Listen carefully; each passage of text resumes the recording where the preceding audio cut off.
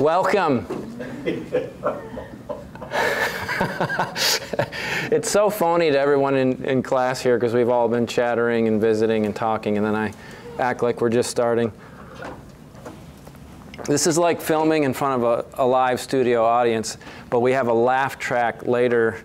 I superimpose over some of my jokes when nobody laughs. I, I put a laugh track on it if you haven't been watching the the videos. I'll, I'll have to show you. I'm, I'm, record, I'm recording and I'm in a weird spot, so I, it's a little bit hard harder to make.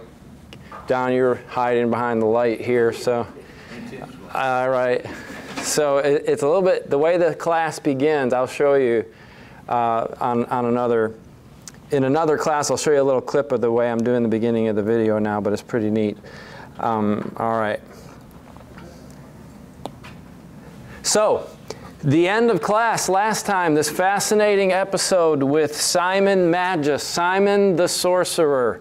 And there are a lot of great things to learn. And obviously, the Holy Spirit had Luke tell us quite a bit about him and his exchange with, with Peter, remember, and the rebuke that Peter gave him. And, and just at the very end of class, we were hurriedly talking about how Peter says he's in, the, he's in the gall of bitterness, he's in the bond of iniquity. See, here are some great principles here that tell us not just about Simon, but, but what sin does to us, right? That when we, when we allow these passions, these desires to rule us. We're in a kind of bondage to our sin, and Scripture will talk about that kind of thing over and over. So I think I will preach. I've never given a sermon on Simon in this whole episode that I can remember in 30 years of preaching, so it seems like it would be something good for us to address from the pulpit. But now, now, we're getting to a great and familiar and maybe one of the more beloved stories in all the book of Acts, maybe in the Bible, but we're, we're also shifting now to a new epic in church history that God is going to bring about. God is going to bring about this momentous movement in the spread of the gospel through one man going out on a desert road and talking to, think about this, and talking to another man on his journey. And it's I, I just find it profound what God is doing through Philip here. So I've chosen to call this uh, The Gospel Goes to Africa. Because in Philip's encounter with the, the eunuch, he's going to Ethiopian, which is a term used in Scripture for essentially, this might be a bit simplistic, but in the Bible, Ethiopia refers to all of Africa or Africa south of Egypt, that, that whole region. And Luke's going to focus on Paul's missionary journeys and the spread of the gospel in the Mediterranean world. But it's fascinating to think of how it's going out. What about what the other apostles were doing and the places they were going and the gospel moving to other continents and other parts of the world? Eh, so, and also, also, we think of the first time the gospel goes to a, an uncircumcised Gentile. Who's that? Where do we see where the door of the church is open to the Gentiles? Cornelius, Cornelius right? Cornelius, the, the military, the Roman soldier, the Roman officer. When Peter goes there, and that, Luke's going to focus on that, two chapters, Acts 10 and 11, or two, uh, a chapter and a half uh, that from Acts 10 through the first part of Acts 11. So that, that's, that is momentous as well, but here's a precursor to that. Because here is a God fearing man who believes in the God of Israel and who worships the God of Israel, but uh, is not a proselyte, is not a Jew, and he is going to be taught the gospel and baptized into Christ and become a Christian. So also, it's, this, is, this is very interesting to me too. There, there's my term, right? I should just get a shirt to wear a t-shirt in class that just says, this is very interesting. That way I don't have to keep saying it or just to further gaslight you. But so far, we have seen the gospel preached in in public ways to whole groups of people, like in Acts 2, right, on the day of Pentecost. And then Philip goes to Samaria, and we're told that they gave heed to the things that he taught. And he does mention this individual, Simon, where you get into some uh, uh, specifics about one particular person. But while we have these moments in Acts of public speeches and public pro proclamation, this is one of those personal this is one of those personal encounters, a one-on-one, where, where Luke takes a, a, a, lot of space. Think of all the individuals being converted. Think of all the Bible studies going on. Think of all the teaching that's taking place. And Luke selects specific instances and says, now here's one, like Paul talking to the jailer, right? Paul going to Lydia's house and teaching her and her household. And Cornelius is one of those, and it's the first one we get to in the book of Acts. So this is huge. This is huge. All right, let's, you know, I spend so, so much time telling you what we're going to study that we never actually study it. So uh, let, let's, let's look at it. So now, and that, that kind of gives us a, a, a shift here uh, to say, okay, now this was what all this led to here kind of a transitional statement. Now, an angel of the Lord said to Philip. So we see an angel is being utilized here, right? And then the Spirit is going to communicate directly with Philip. And what have I been saying over and over? So much taking place in Acts is not normative. It's not, I, I don't think you can read this and say, well, God sent God is going to send an angel to me to tell me to go teach the gospel to somebody. I, people make those claims. Or the Holy Spirit told me to come and teach you this verse. Have you ever had anybody say that to you? Many. Many times? Many times, John said. They On the Facebook all the time in my. Right, okay. In, in his uh, Facebook, in his web page, in his teaching ministry that John has online, he gets a lot of that, right? And I've, I've had people say it to me that the Spirit laid this on their heart or the Spirit told them to say this. And, and when, you, when you are incredulous, when you're skeptical of that, they think, well, it's right there in the Bible. Again, so much taking place here that is not normative, but God's stepping into history. This is a specific time. God's acting in a specific way in a transitionary period, and so it's a, it's, a unique period in a lot of ways. We need to keep that in mind. We're going we're to start expecting God to be doing things and, and misinterpreting events in our lives as, as thinking God is doing this or doing that because we're reading about it in the book of Acts.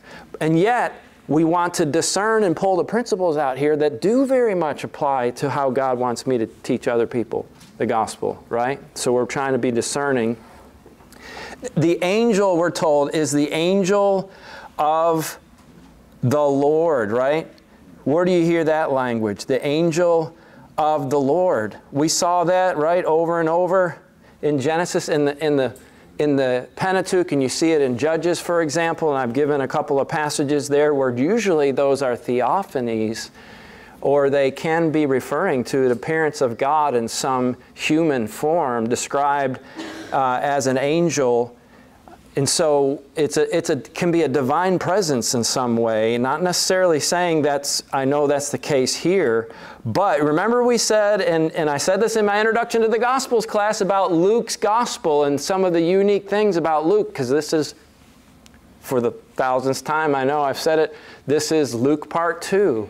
Luke is the gospel that has the most references to angels, that talks the most about angels. And here I've listed some of the passages in Acts where we're going to see angels involved. Angels letting the apostles out of prison, right? Angels letting Peter out of prison. An angel striking Herod dead. An angel speaks to Paul on the ship. An angel of the God whose I am and whom I serve uh, spoke to me this night, he says.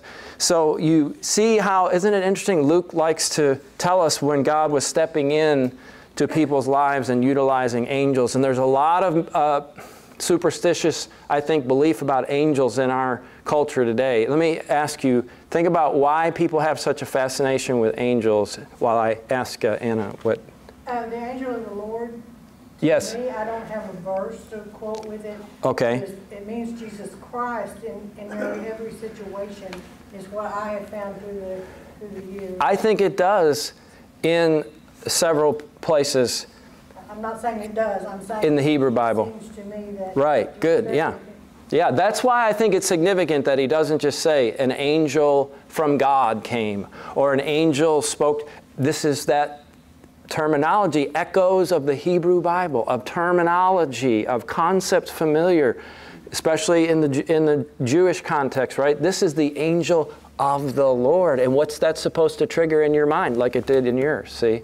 So I like that, yeah. Why do you think people have such a fascination? with angels. Uh, I didn't plan to get into this, so I'll just we'll just briefly address it. But I, I find it interesting, like everything else I, am telling you, I'm saying is interesting, right? Heather, Heather, what's what's the deal with angels? I know I scared you, I startled you, but uh, no. Why why do you think people like to believe that God, that there are angels watching over them, and that there are angels that appear and that angels do this and angels do that. I, I've, got a, I've got a theory that it's very comforting.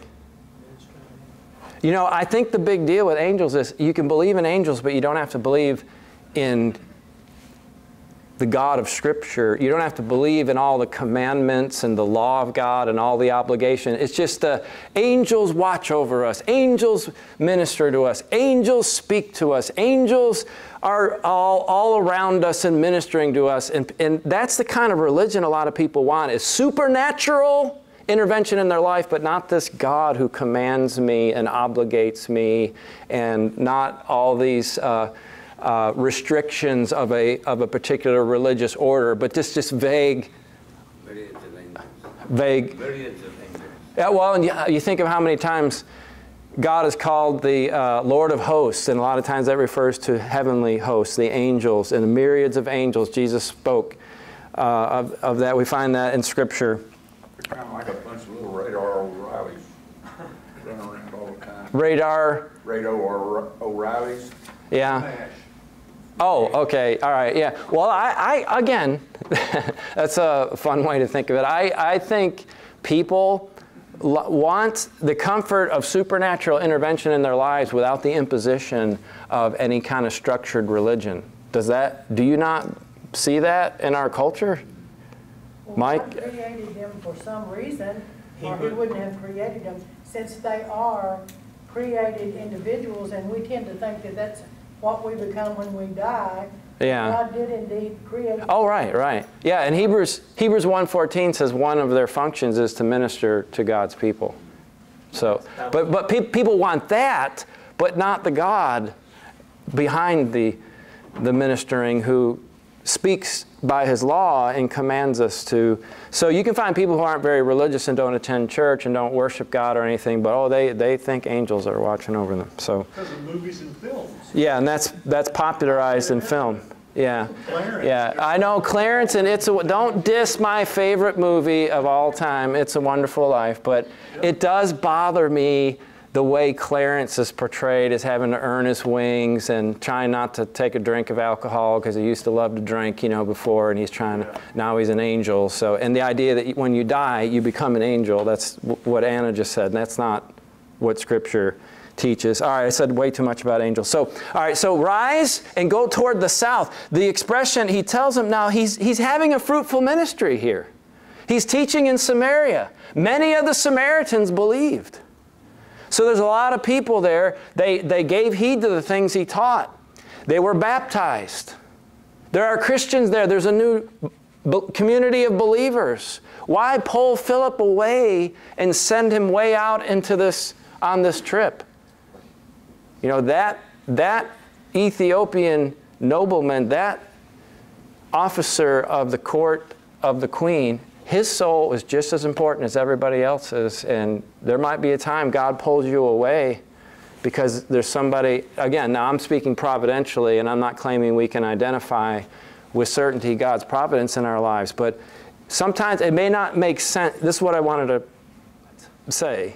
Sometimes what's happening in our lives might not make sense to us, that it may even be taking us away from a place where it might seem to us makes the most sense, where we can do the most good. But it could be God needs you to go down to Gaza and is working things in your life to get you in to encounter someone else that needs to hear the gospel, right? To me, that's very uh, uh, thrilling thought. He tells them to go toward the south, and actually, uh, that can be toward the south can say uh, at midday. The Greek expression can also mean at midday, which, if that were true, it would be unusual. It would make this all the more extraordinary because in the heat of midday, people generally didn't travel. So uh, it, it, could mean that, but it also can mean toward the south, and that is the way to go. There are two ways to go from Jerusalem down through um, southern, southwestern Palestine into Africa. And uh, this path would go likely the one from Hebron and then over to the coast down through Gaza. I'm going to show that in a minute. So, so think of how the, the angel and the spirit are, are at work here by the hand of God. And uh, think of how the providence of God, I wanted to say, might, might work in our lives to move us into a place where He needs us to reach somebody with the gospel. Tyler, I just love the little phrase that Luke inserts there. And mine is just three words. It says, This is desert. Yeah. The quote, This is desert, you know? Yeah, now I have a, I have a note in my Bible to, to call attention to that, right? Why, why do you think he's saying that? Why do you think he's saying that? This was an unusual thing to tell Philip to do. Go down through this area, not a populated area, not an inhabited area. Why? And he doesn't even say, because there's a man there I want you to go talk to. He just says, go. Right? And it's not, it's after he does what God says to do without an explanation, but trusting God and, and doing what God said. Then he sees the eunuch, and then the Spirit says, go talk to him. So, uh, but what I, what's interesting to me is this, keep this in mind too, and I bring this up over and over when I preach especially when I look at these episodes in the book of Acts, is even though the Lord is involved in a supernatural way, we have angels speaking in the Holy Spirit. God did not send an angel directly to the eunuch. Why? He could have done that, right? The Holy Spirit could have, instead of talking to Philip, he could have talked directly to the eunuch. The angel could have just gone directly. Why bother Philip to have to go to all that trouble? But the point is, you see it over and over throughout the book of Acts. Even when God's hand is involved in a supernatural way and He's orchestrating events, when it comes to learning what to do to be saved, He never speaks direct. Even when Jesus appears to Saul, right? Does Jesus tell Saul how to be saved? He sends a man with him uh, to him with the message. So it's always this is God's way for people to be saved. He could directly communicate to every person on the face of the earth and tell everyone tonight what he expects them to do in order to be saved. That's not, that's not how God has chosen to operate, is it? And so, even here in all of this activity, it's sending a man uh, with a message. So, uh, yeah, and the way is desert. So, that tells you a little something, Luke inserting that. And you, you, you learn something here about are, it's also interesting when you think of echoes of, of the Hebrew Bible and, and Israel's history. I want you to think of these similarities between Philip and Elijah. Both involve an angel of the Lord communicating to them, connecting with them. Both involve move, uh, they move from one place to another by means of the Spirit. We're told at the end of this account, the Spirit caught Philip away, and that happens to Elijah and it's also interesting that you have in 1 Kings 18 with Ahab, you have Elijah also running down the road where the, with a chariot, where there's a chariot with an important person in it. And, and so it, it could be intentionally set up by God to show us God's using Philip as a prophet, just like Elijah. He's a, he's a true, legitimate prophet of God. So what is he telling him to do? So he, he, he, he sends him to Gaza, and as we pointed out a moment ago, this way is desert, so he, Luke wants the reader to know this is an out of the way thing going on here.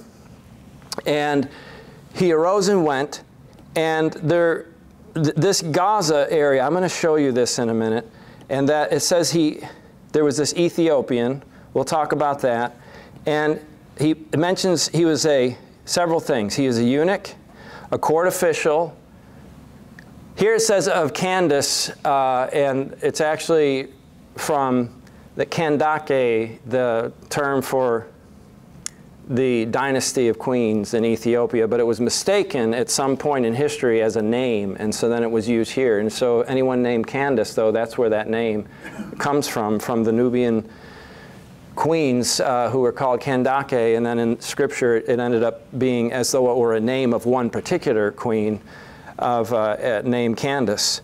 But she, he was in the service of this queen, who was queen of all the Ethiopians. Well, again, we said the term is used in a very general way in Scripture, Ethiopia, of, of the region of Africa once you get past Egypt.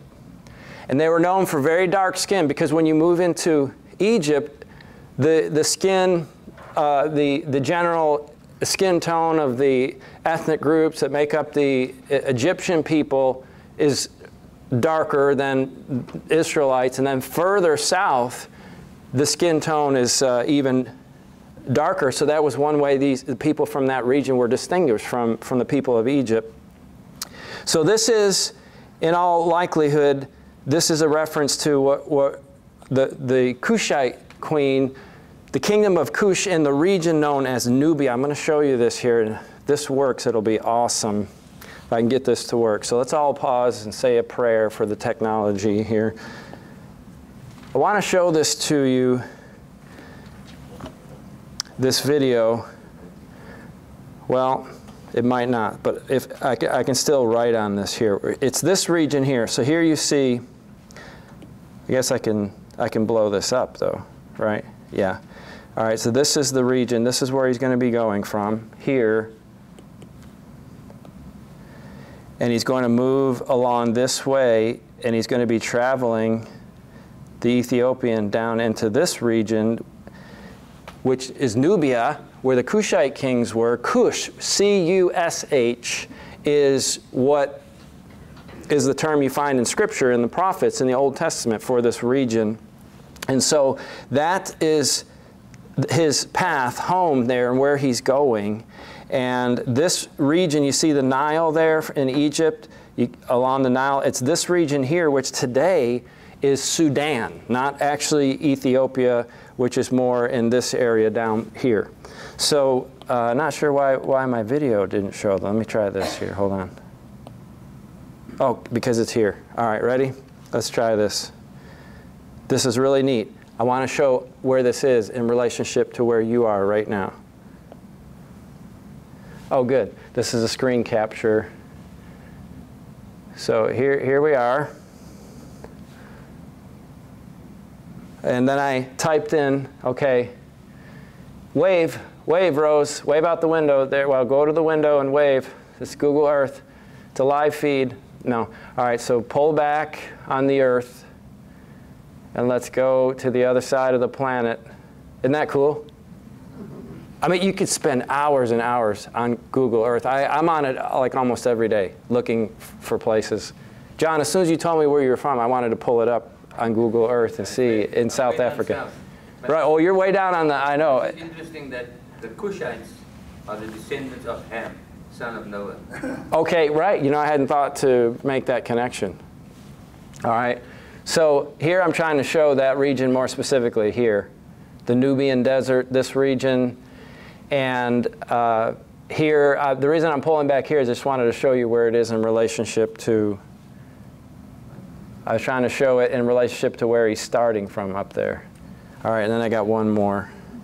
One more. How far that was in miles or I tried to find, I looked this up. I know it's hundreds of miles, but. I was told it's 500 miles. Okay. So imagine traveling by chariot uh, on, on difficult roadways 500 miles to go worship at the temple in Jerusalem. Can you imagine the journey? I mean, and I don't think even at, at that time there were any Buc-ee's yet uh, along the way, uh, as far as I know. Somebody check that and see. All right, now here I wanted to show you Gaza. he's told to go down through Gaza. So look, the Gaza Strip, which Israel recently relinquished and turned over to the Palestinians, and it's ruled by Hamas, one of the most wretched places on earth to, to, to be cursed to have to live right now. It's uh, terrible there. And by the way, in Ethiopia right now, there's a horrible civil war. In Ethiopia, we don't we, we hear a lot about Ukraine. We don't hear as much about, if anything, about the civil war in Ethiopia. Over, listen, half a million have died, uh, and there's been horrific violations of human rights, uh, ethnocide. There's genocide going on there uh, people being burned alive, being slaughtered in, in thousands. It's a brutal, brutal civil war. But these queens in this region were once very, very powerful. For, so here again is the, uh, just for your references, Philip's was in Samaria. And then see if he goes down to Jerusalem, this would be the route he would take into Gaza down, down in that area. And then later he'll come back along the coastline and end up in Caesarea where he'll stay then. So God's going to bring him uh, back into that, that area. But um, we'll, we'll talk about the, the, the, queen here in just a moment. But he's a eunuch. Now, as a eunuch, someone who's been, a, it, it can just mean an important official who serves in the court of royalty without necessarily meaning someone who's been castrated or emasculated, but it seems from the way Luke describes him, he was actually a, a, eunuch. And according to the law of Moses, eunuchs were not, so even if he became a proselyte to Judaism, to the religion of the Israelites, he would not be allowed in the inner court of the temple. The law of Moses forbade anyone with this kind of mutilation from entering in beyond the outer courts. Uh, he, he wouldn't be allowed beyond the outer courts. But there's a beautiful prophecy here. Wasn't it for several generations even? Um, uh, after there was a the one the, the, prohibition for several generations I think was the Moabite there was a specific after an incident with the Moabites then no Moabite could for for several generations but you can check that Deuteronomy text to see if that all right, well, who did he go to worship? Right. He, so he went all that way to Jerusalem to worship God, the God of Israel, the God of Abraham, Isaac, and Jacob at the temple. When he's on his way back, he's reading from the, the scriptures of the Jewish people, of the Hebrews. He's reading from a Greek translation of the Hebrew Bible. So he believes in the one true God, but he doesn't know who this Messiah is. He doesn't know who this servant of the Lord is that he's reading about. And here's what's beautiful about this when you put it in the context of all of Scripture. What's happening here? Isaiah, he's reading from Isaiah. And this may have been a special of interest to him because Isaiah, the prophet, spoke of an era coming, a day coming when eunuchs would be once more welcome in God's presence. So Isaiah 56, notice, let not the foreigner who's enjoyed himself to the Lord say, The Lord will surely separate me from his people, these people outside of Israel. No, no, no. Let not the eunuch say, Behold, I'm a dry tree. Like, see, I would never qualify to be a part of Israel's God uh, his people, the, the people of Israel's God. L let him not say that, for thus says the Lord to the eunuchs who keep my Sabbath, right? Who keep my Sabbaths who choose the things that please me and hold fast to my covenant, I will give in my house and within my walls a monument and a name better than sons and daughters. I will give them an everlasting name that shall never be cut off. So there's this wonderful promise, this comforting hope that one day even people like me could be accepted all the way into the presence of God, not just be restricted to the outer courts. That's the prophet he's reading from. So what about this, I mentioned already the Kandake uh, and, and, how it's rendered Candace here, but I want you to just know a little bit about this and then we'll actually go through the text. Um, but th that's a, a, Nubian, that's a, a statue of a Nubian from this region, just to get an idea of what uh, perhaps uh, the, the, people looked like in this region where, where this eunuch is from. But these were powerful queens who ruled in that era in that part of the world. And so I was able to find some really good artwork depicting that. And the, the queens there were often depicted as, as fat, and that was a sign of prosperity. People wanted to be fat. People envied, envied you if you were fat. Uh, I know today we look at that as a negative, but see, she's, she's portrayed these queens as, as powerful and conquering and very uh, healthy, let's say it that way, okay? So you have these depictions. See, we know from, from steles, from, from archaeological finds, we have evidence of how they were you know, how they may have looked, how they were portrayed. And in this particular one, notice the one eye. What this, there was a famous queen from this era during this time, was known as the, the queen, the one-eyed queen, because she had a one eye that was bad. But Rome, during this time, one, one queen in particular,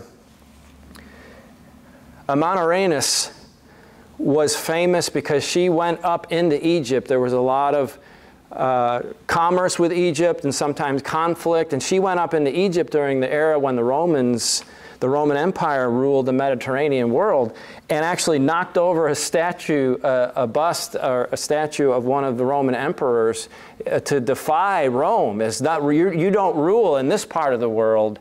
And so Rome sent, uh, so there was tension there because Rome received a lot of goods from this part of Africa. And so there was tension there, and Augustus came and tried to go through Egypt and go and conquer the people there, and, and the queen was able to hold them off, and it sort of ended in a stalemate, and an agreement then was made as a result of that. And so in history, again, there was this standoff between Rome and the Nubian rulers, or this queen, the Kushite queen. And so to think of, uh, you know, it's a proud heritage, it's a proud history to think of what took place in this part of the world. Well, this is where this eunuch is from. He's a nobleman in the court of a very powerful uh, queen in a very powerful empire in this part of the world. Well, God wants the gospel to go to this part of the world, and He wants this man to, to hear the truth.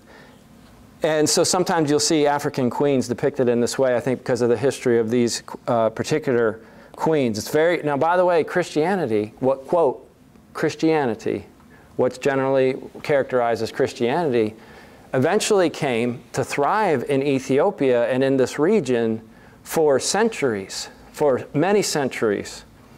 Forms of Christianity were thriving there until what happened? What changed all that? The Muhammad, and the Arabs, the Islamification, the Islamization of this region ended up uh, making the area, uh, though there's still a presence, there are still churches there.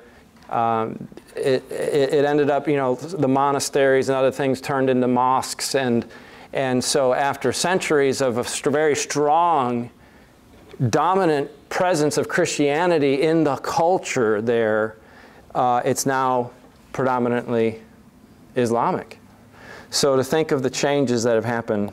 How commonplace was it that he was reading from Isaiah? All right, well, well yeah, let's let's get to that. Yeah, he's got a copy of Scripture. Barry is very, very, very, very politely moves me along. You know, it's like so about this next part in the text, Tyler. What about that? Okay, so yeah, so he arose and he went, and so there was this Ethiopian.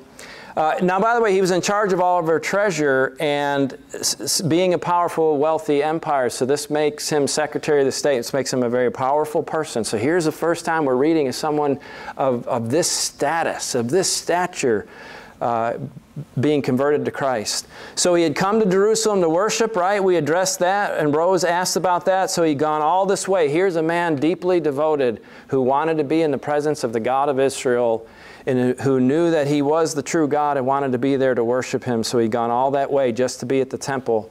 Uh, and so he was returning. He was seated in his chariot. Only wealthy people had chariots. And you know, you imagine this is sort of like the SUV of the time, but just to be able to travel by a horse drawn chariot like that was an incredible luxury. But can you imagine how painful and difficult it would be to go hundreds of miles in a a chariot from that day. And, and so Barry's question was he was reading the prophet Isaiah. And Philip apparently hears him reading. He hears the part of Scripture that he's reading. So, a couple things. People generally read out loud in the ancient world. Reading silently to yourself was not a, not a common practice. Really wasn't something developed at that time. So if you were reading something, you generally read it out loud. Do you ever read scripture out loud just in your own devotions? I do that occasionally, especially in the Psalms, and I've done it with like the prologue of John. I like to read the Greek and just hear the sound of, of the text sometimes, but uh, do that sometime and if you're reading through a psalm, read it out loud. But he was reading out loud from the prophet Isaiah. So he has a scroll, he has a copy of the prophet Isaiah. This is a luxury. This again, this is something that not very few people, they didn't have their own Bibles, right? You went to the synagogue and you hoped your community had a scroll of the Torah with the law and maybe some of the prophets, but it was a, a, a rare blessing to have access to your own scriptures, to think that we neglect the Word of God. What a privilege it is to be able to hold in your own own hand, your own copy of the Word of God is a pro, in your own language, is a, uh, a blessing that is that many people have not known and could not even imagine in the ancient world. To have your own to have access to it the ease of access to it like we do today. So he has his own bible. Likely this is a greek translation of isaiah. So he may have gotten it in jerusalem he, more likely in Alexandria, Egypt, which is a very important city. That's where the Greek translation of the Hebrew Bible was made, in Alexandria, Egypt. So very, it's very likely he would have had a copy from, from that region.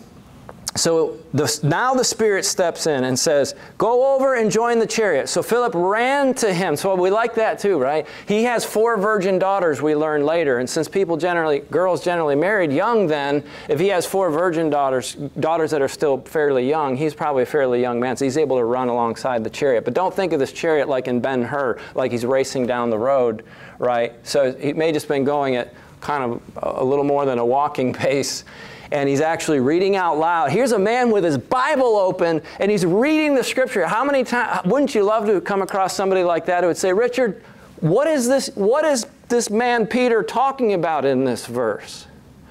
Hey, you hear somebody reading out loud at a cafe and you say, Do you understand what you read? could you help me? Understand my Bible, what this is talking about. This is such a beautiful scene in so many ways. So he says, Go over, join the chariot. Philip ran to him and heard him reading Isaiah the prophet and asked, Do you understand? I love that because it's a big difference between reading the Bible and understanding the Bible, right?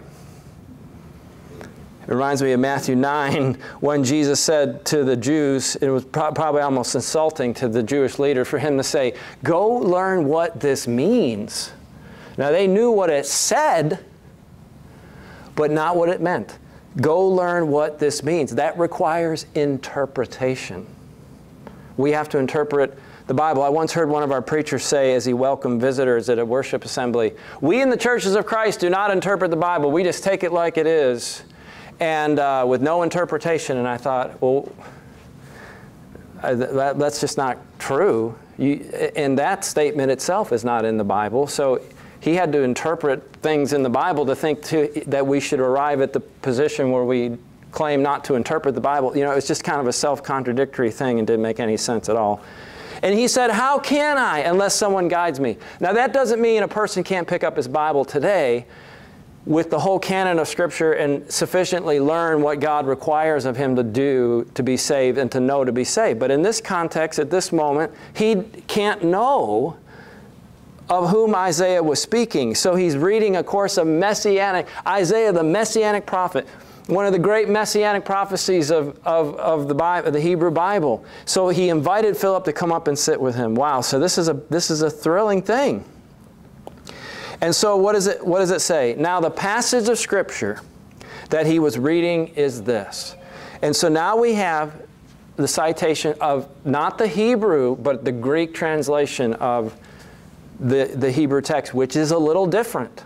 And it's modified a little bit, apparently, by Luke or uh, by the Spirit in the way, what we read here. So here's what the text said Like a sheep, he was led to the slaughter and like a lamb before its shearer is silent, so he opens not his mouth.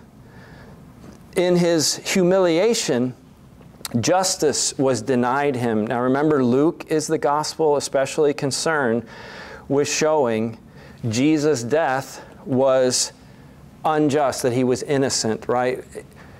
In Mark's gospel, the centurion says, Behold, this, when Jesus dies on the cross, he says, Behold, this was a son of God. In Luke's gospel, what does the soldier say? This was a righteous man. The, the robber on the cross who was crucified with Jesus says, This man did nothing amiss. Luke wants to emphasize, and he does over and over in Acts, he was the righteous one. He died an innocent man. He was unjustly crucified. That's something that's an emphasis in Luke, so you can see why he's bringing that out. Justice was denied him. So he was unjustly killed. Who can describe his generation, for his life was taken from the earth? And so the eunuch said to Philip, about whom, I asked, does the prophet say this? About himself or about someone else? Was the prophet speaking of the servant here? Uh, and that's why this servant he has in mind was, was it Isaiah? Was it someone else? And Philip opened his mouth and beginning with this scripture, beginning with the scripture, he told him the good news about Jesus. So remember this the key starting point for understanding all of Scripture. Luke has shown this over and over. I brought it up again and again. Jesus is the key, the interpretive key to all of the Bible. Everything in the Bible is about Jesus. And that's what Luke said at the end of Luke part 1, leading us in to this text, right? Whoops, I can't do that unless I move all this. For the love of mercy. All right, let's try, try that. Remember Luke 24? that Jesus on the road to Emmaus, beginning with Moses and all the prophets, he began to uh, interpret to them all in all the scriptures the things about himself. The whole Bible is about me, Jesus was saying. In verse 44, when he gave them the commission to go out into the world, he said, Everything written uh, about me in the law, both in the law of Moses, but also in, in the prophets and in the Psalms, they, they must be fulfilled. And he opened their minds. See, Christ is the key. Once you realize that Jesus is the interpretive key. It opens us to the proper understanding of, of the Scriptures. He opened our minds to understand the Scriptures and that it is written that Christ should suffer and on the third day rise again. So that, that let me put that point back in there. It's very important. Now as time runs out here then, as he teaches him, that citation is from Isaiah 53. But that context several times speaks of this servant of the Lord who Sometimes it refers to Israel, but sometimes this servant of the Lord is distinguished from Israel and someone who is suffering on behalf of Israel. And this context actually starts, I have 53 there, Isaiah 53, but this goes back to the end of chapter 52 about my servant. See the reference to my servant?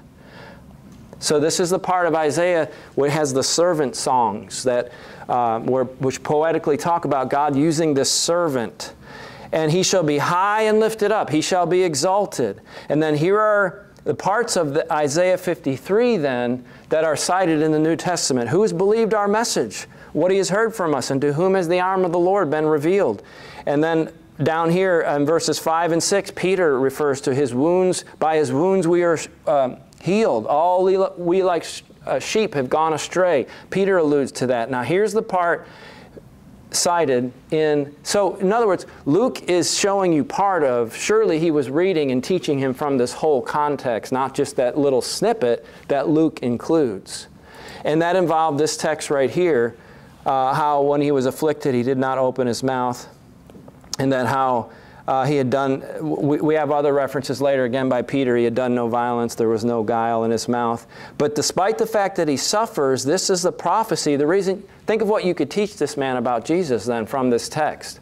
That he would be high, even though he would suffer, and he would be unjustly killed that God was going to raise him from the dead, that God was going to highly exalt him, as we saw at the end of chapter 52, and prolong his days, right? That in dying, he was actually bearing our iniquities. He was numbered with the transgressors, and yet he bore the sin of many. See, Jesus quotes that in Luke and says, What is uh, said in Scripture must be fulfilled concerning me. And then he quoted that from this text.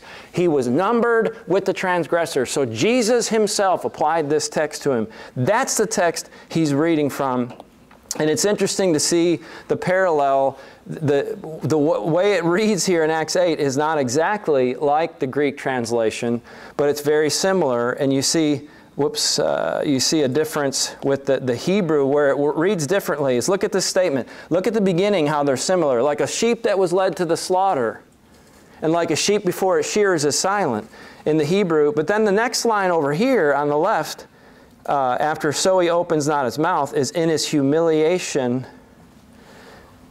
Justice was denied him. Who can describe his generation? The, the Hebrew is by oppression and judgment he was taken away. And, and in his generation, who considered that he would die, that he would be cut off out of the land of the living? And so then what happens, of course, is he preached unto him Jesus, and when he, as they go on their way, he sees water and he wants to be baptized. This is what I'll ask you next time. Notice right here, verse 36, verse 38. Where's verse 37?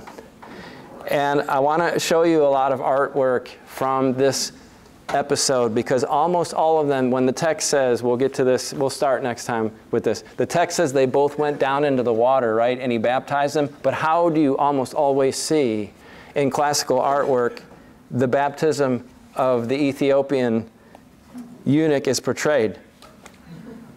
See, they both went down into the water and he baptized them.